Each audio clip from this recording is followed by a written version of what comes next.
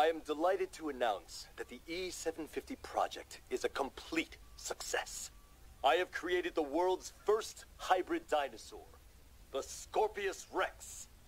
Granted, its appearance and behavior are a bit unusual.